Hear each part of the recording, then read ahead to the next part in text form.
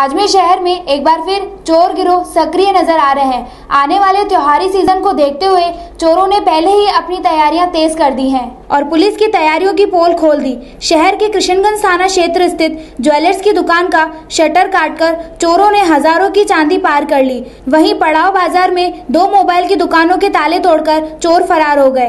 अजमेर के कृष्णगंज थाना इलाके में स्थित एनक ज्वेलर्स के मालिक नंद किशोर सोनी ने बताया कि शनिवार को जोधपुर से लाखों का माल लेकर वह अजमेर पहुँचे थे और दुकान में चांदी के कई आइटम्स रखकर कुछ माल अपने घर ले गए। इसी दौरान देर रात चोरों ने शटर काटकर चांदी के गहने व अलग अलग वस्तुएँ पार कर ली। इसकी सूचना सुबह पड़ोसी ने दी।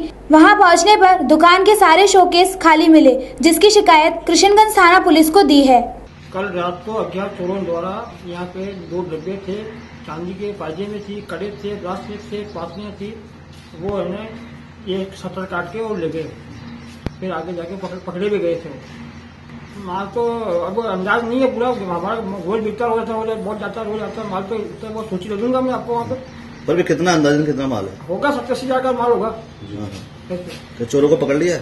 हाँ चोरों को कल पकड़ लिया मेरे को माल भी दिखा था वहाँ पे। कितने जने हैं चोर? चोर तीन जने थे। तीन या चार होंगे लोग में चार बजे थे। ये मेरी दुकान सिंह लोहागढ़ में है। एम के ज्वेलर्स के नाम से। मैं क्या जोधपुर गया था परसों तो वहाँ से मैं माल लेके आया था लाख डेढ़ लाख का थोड़ा बहुत माल मैं घर पे ले गया बाकी का माल नहीं पड़ा था।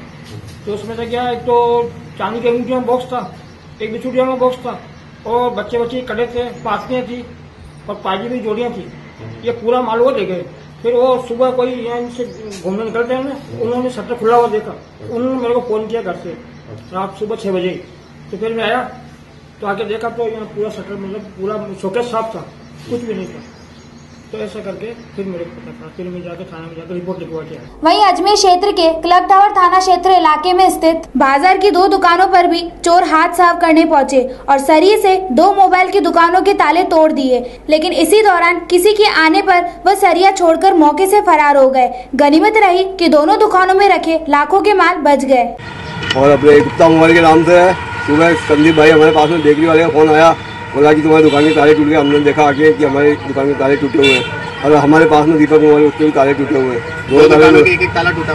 का किसी ने खोले ब्याह करे जाके कंबल भी पड़ा होगा उसमें खोलने के लिए लेकिन कोई आया तो भाग गए लोग कम कम दो ढाई लाख का माल लोगों त्योहारी सीज़न में सुरक्षा चौक चौबंद का दावा करने वाली जिला पुलिस के दावों की पोल चोरों ने खोलकर रख दी पर अलग अलग इलाकों में हुई चोरी की वारदात से लोगों में नाराज़गी दिखाई दे रही है।